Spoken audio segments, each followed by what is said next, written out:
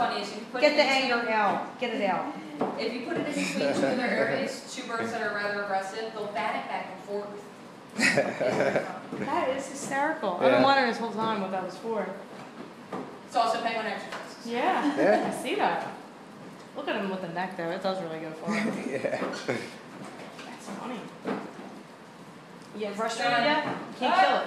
Can't kill it. Frustrated? Usually if it lays down, you can hold it go up. That is hysterical. All right, good job, good job.